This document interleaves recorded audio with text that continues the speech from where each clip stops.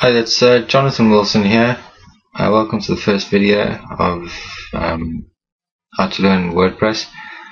The first thing that you need to to have is a host account and uh, um, and a domain, of course. The host account, is, I use JustHost. I mean, there's details at the bottom of the video. You can sign up with them if you don't have an account. But to get to this point of, of setting up WordPress, you assumably have a host account and you have a domain. Otherwise, it would be very difficult to do it otherwise. On a computer, if you didn't have that, it would be difficult too. Despite that, the first thing to do is log into your JustHost, which you can see I'm in my account at the minute. Now, there's lots of stuff on this control panel and it gets really confusing. So don't get lost. Just stick to what I'm going to show you at this point and take it step by step. There is the first thing you need to do is you've bought your domain and you have your host account, hopefully with the same providers. To have it separate, separately can get quite confusing and messy. But nevertheless, first thing you need to do is you need to add that domain to your account. Although you bought it, you need to add it.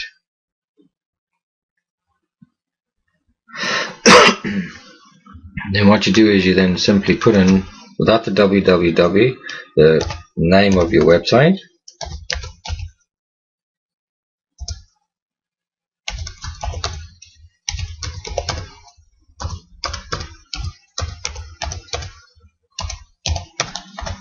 and the extension .net.com, whatever you, you, you bought.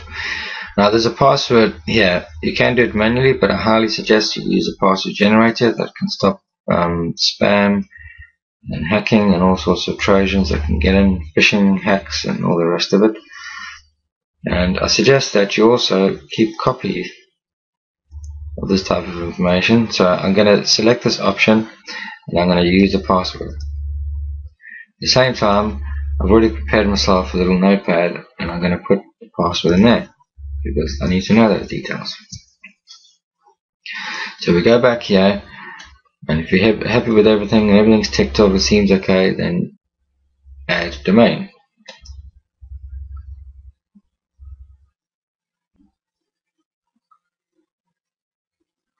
Then you'll get this message saying here, the add-on domain for how to make make a website.net has been created. So that's success, right? Then you just go back to your home button here, or you can go back. You find your own way to navigate, but just go back to home, it'll be easier. The next thing you need to do is, now that you've you've actually configured your your domain to your host account, now you can then add the WordPress. Now the WordPress I use is through Fantastico, a little blue smiley face. So I'll just click on that.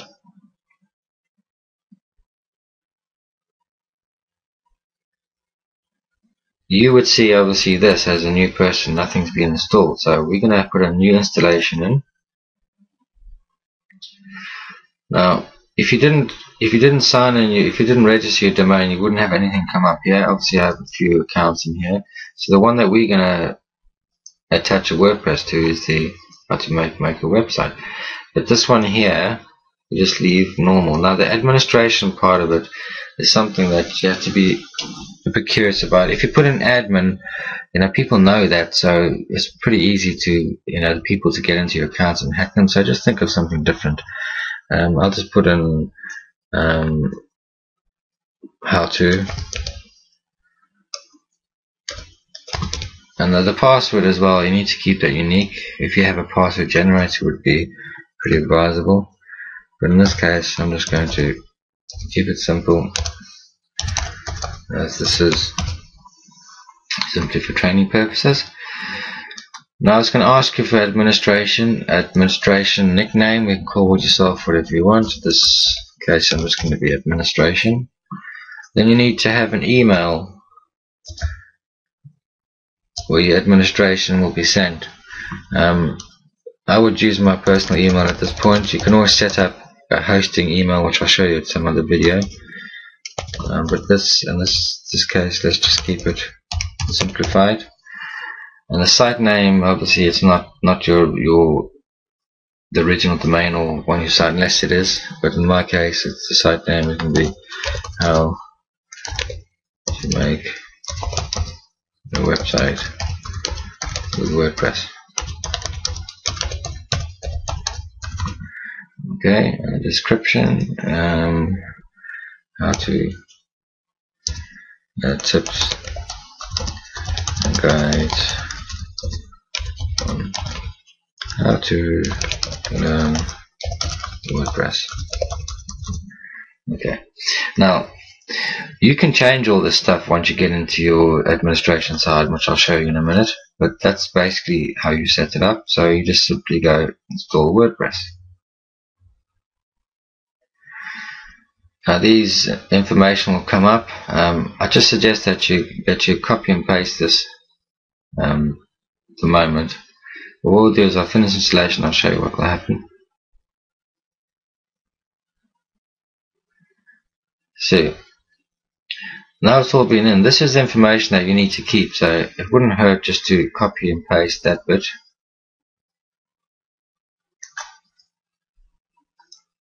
into your OneNote. So what that means is that your password, uh, username, the username is how to and the password as well. No, I wouldn't be telling that now, would I? And then you got the administration login, okay, which is quite handy, which you're going to use very shortly. And at the same time, if you put your email in here, it will email you your login details and password. That way you don't get lost at the same time it's always good to prepare so that's it so you just send the email off and that's it set up now what you do then is if you go back to your OneNote or your email wherever you get confirmation from you'll get that link where it goes forward slash WP which stands for WordPress admin. You need that folder there. If you copy and paste that into your browser,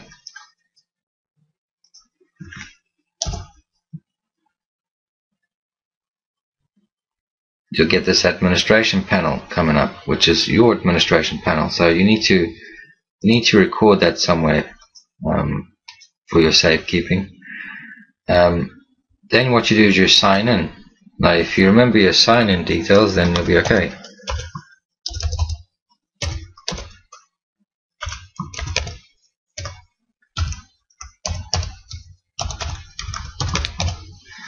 and you can say remember me to remember you on this computer and you log in and here we are. You've just now added your WordPress to your hosting account.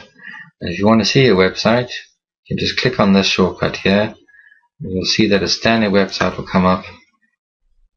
Which is how to make make a website with WordPress. Hello world. That's the description. I put in tips and guides on how to learn WordPress. It's that simple, guys. That's how you set it up. In later videos, other videos will go a little bit deeper, but that's the first step anyway. Good luck.